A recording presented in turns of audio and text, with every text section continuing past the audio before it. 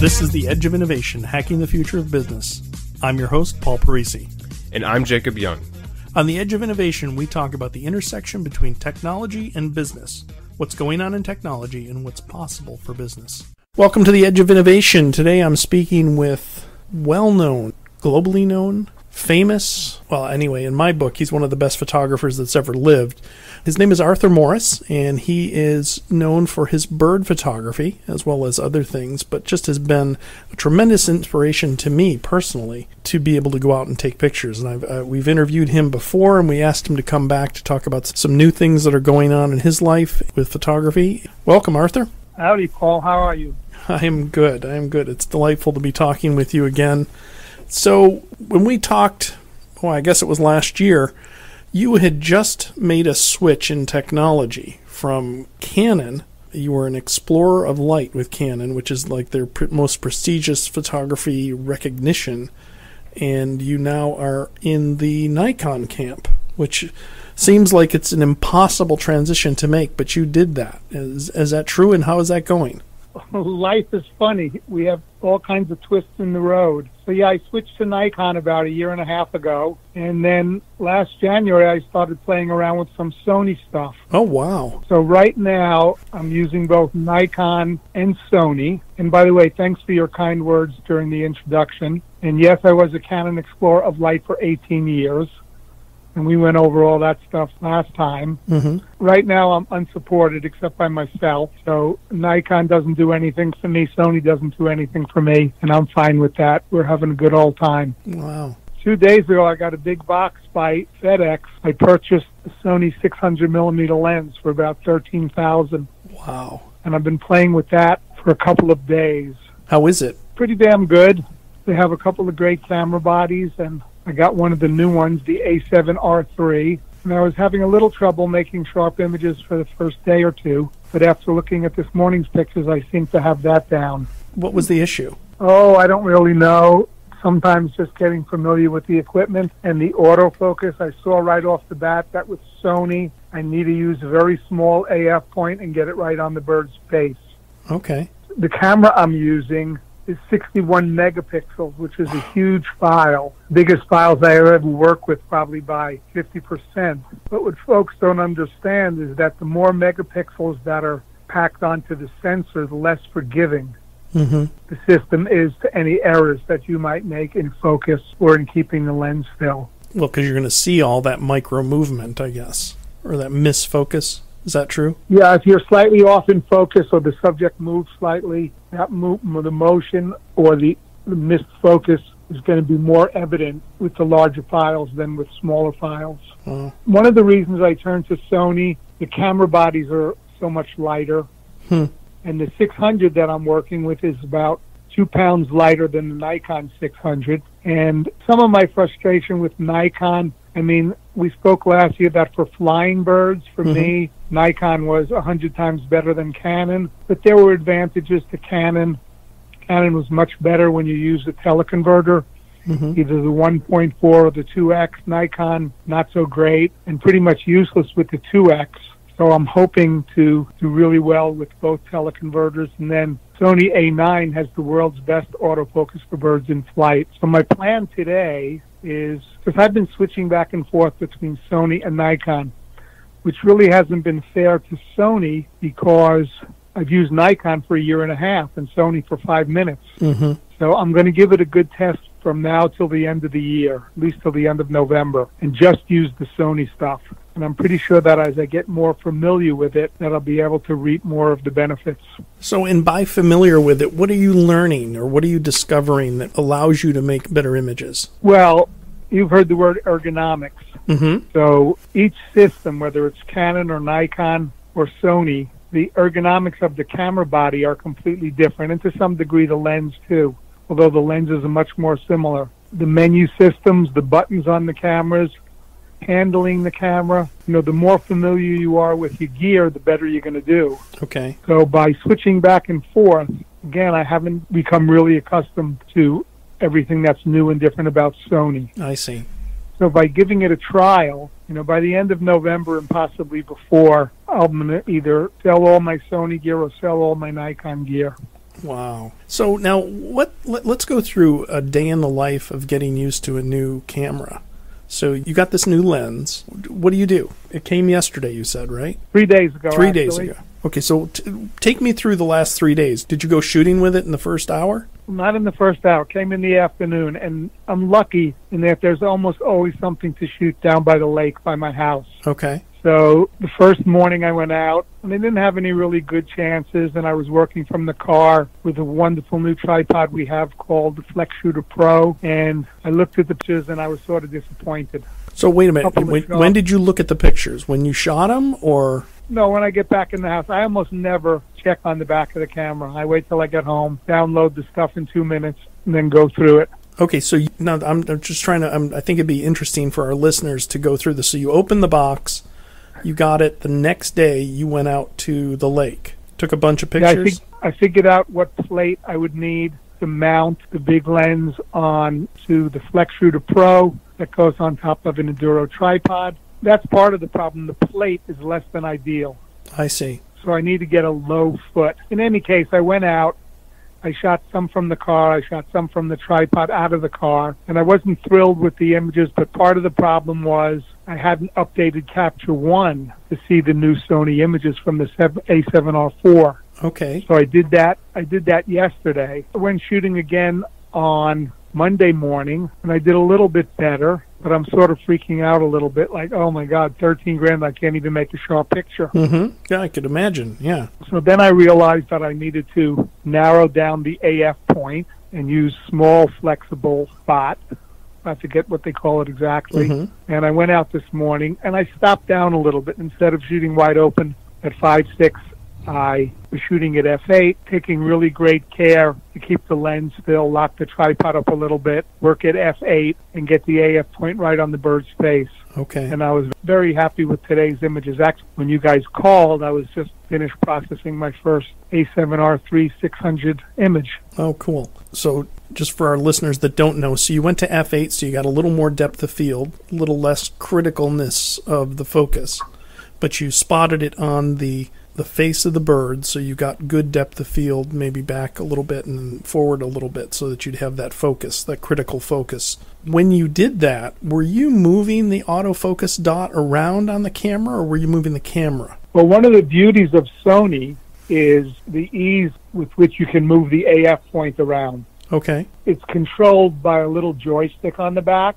Oh, okay. that falls just under your thumb, Mm-hmm. and it moves quickly and easily. So I was on the vulture's face this morning, and if I wanted to change the image design a little bit, I just click one to the right, one up, and get a little bit better framing. I see. So that that's a beautiful feature. And then another thing, you know, when I used Canon with a 500 f4 or a 600 f4 lens, I used the 2x teleconverter, the doubler, half the time, and I did very well. And I could make sharp images with down to a 60th of a second with the with the doubler working either at a thousand millimeters or 1200 millimeters, a big amount of magnification. But with Nikon, I bought the new 2x, made a very few sharp pictures, but it really has a problem focusing, and it's pretty much has a reputation as being a clunker. Hmm. So I've been I've been trying to sell it, and I can't even sell it. Interest. So you know that was a big advantage for Canon over Nikon. Mm-hmm. So e- even with the 600 and the 1.4, which is not nearly as extreme as the 2X, with Nikon, when you get away from the center AF points, you move it close to the edge, Mm-hmm. it sort of becomes blind. Really? It, it just it won't focus. No, Wow. And, and that's even with you know that's with a five six lens. Like Nikon makes this amazing lens, the 500 PF. Mm-hmm. It's sort of similar to the Canon DO lenses. Mm-hmm. made with lightweight lens elements instead of glass. And if I do go to Sony, I mean, if I had a bet right now, especially after this morning, I'd say in three months I'm going to be selling all my Nikon gear. Wow. But the you know with Canon, the lens I missed the most was the 100 to 400 too, mm-hmm. because it focused down to a little over three feet. Wow. Lightweight, versatile. Nikon has an 80 to 400, but it only focuses to seven feet. So with the minimum focus distance more than twice that of Canon, you're sort of in trouble when you can get really close to the birds. Right. So one of the nice things about Sony is their 100 to 400 focuses down also to 0.98 meters, a little over three feet. Would you have ever thought 10, 15 years ago if you'd be sitting around talking about buying Sony equipment and throwing away all your Canon or Nikon equipment? Nope. I, mean, just, I mean, it's amazing to me to think that the company we used to buy Walkmans from is making cameras that a professional of your caliber can can be delighted in. Well, my understanding, Paul, is that Sony, and I may be wrong in this, but I think it's right. Sony has been making the sensors for all the Canon and Nikon digital cameras for years. Sure. So now I want to go back and talk about. So you got up this morning. What time did you get up to go shooting? To go shoot? Yeah. Well, I didn't get up to go shoot, but I got up at about quarter to four. I slept about seven hours, so Uh-huh. that was nice. And I finished working on a blog post that was really interesting. Talked about what goes on when you're teaching, when you have a whole slew of folks who could appear to give a rat's ass about what you're saying in the field. Mm-hmm. You know, they know everything. They're experienced photographers, and, and lots of good photographers don't need a lot of help in the field. They come on an IPT to get to a great place. And just the fact that in general, the more questions folks ask, the more energized and involved the leader becomes. Mm-hmm. And if everybody goes off doing their own thing, less involvement from the leader. So you didn't shoot today. You shot yesterday, though. When did Oh you? no, I got I got up. Yeah. I finished the blog in about an hour and a half. Had my protein shake, and then at about ten after seven, I drove down to the lake. Okay. and I did the first half of my walk, about a mile. Then I got in the car and drove to the vulture tree, and there were lots of birds and lots of stuff to photograph. Not much flight, but lots of perched birds, and I shot for about an hour and a half. I packed the car up, put the lens on the seat, got in the car to look for some cranes, which are a staple of Indian Lake Estates photography, and I drove about 20 feet. and three cranes flew right at me and landed right next to the road, 20 feet from the car. So first I tried hand holding, and last year, about a year and a half ago, I fell in my home in a puddle caused by my swimsuit, Mm-hmm. and I had a complete and total tear of the infraspinatus muscle in my left shoulder, Oh, the torn rotator cuff. But I opted not to have the surgery, and I'm doing basically great. But hand holding the 600, even the light Sony one, is a little problematic for me. If I turn my body sideways and I use what I call the Olympic rifle shooter posture, mm-hmm. with my elbow tucked in, I can do it. But I feel a little strain on my shoulder with the 600. Mm-hmm.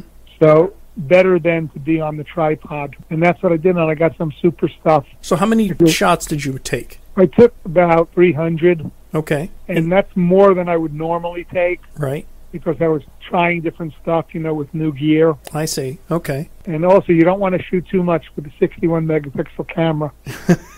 Yeah, that's right. What size memory cards do you have? I use Delkin uh, 64 and 128 gigabyte. Wow. Ultra 2, for the first time in, in my life, I need to use the little cards, Mm-hmm. SD. Right. but you need the ultra fast for the Sony cameras, and you have no problem then with buffer or reading and writing to the card. So Wow. that's what I use. And I've been using Delkin flash cards pretty much since about 2001 when I started digital. Right. Super reliable. They take care of me, and I take care of them. Okay, so you, you made some shots, got 300 in, on cards. You make your way back. What'd you do next? After I was done with the cranes, I take a little ride around just birding because I keep a list when I walk. Then I parked back by the pier and finished up my walk. I did about another mile and change. So I did 2.8 miles altogether. Came home, stuck the card in into the reader, and peeked at a few of them and Capture One and said, ah, much better. Okay. No need to panic and send the lens back. And wh- one other thing on that, it's funny when you're using big lenses or big lenses with teleconverters.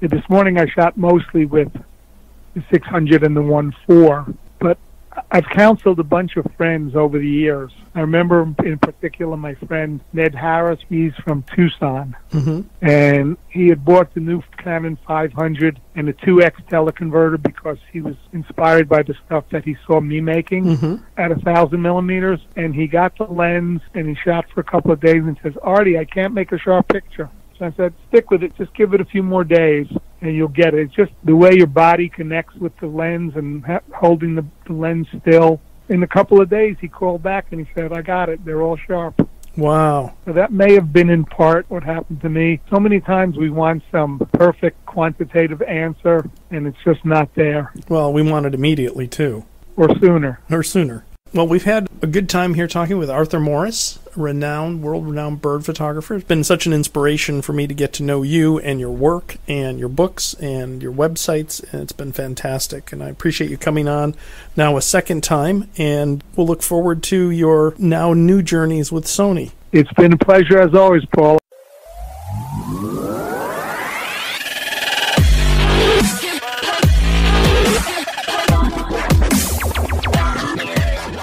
The Edge of Innovation is brought to you in partnership with Savior Labs. Savior Labs exists to help businesses mature and strategize for the future. Learn more about Savior Labs at saviorlabs.com. Thank you for listening to this episode of The Edge of Innovation Hacking the Future of Business. For the show notes and more information about Paul, please visit paulparisi.com. The Edge of Innovation is produced by Jacob Young in conjunction with copious amounts of coffee. Music on today's episode was from bensound.com. Paul can be found on Twitter at pdparisi and on LinkedIn at linkedin.com slash pdparisi.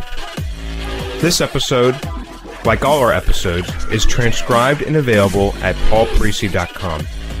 Thanks for listening, and we'll see you next week.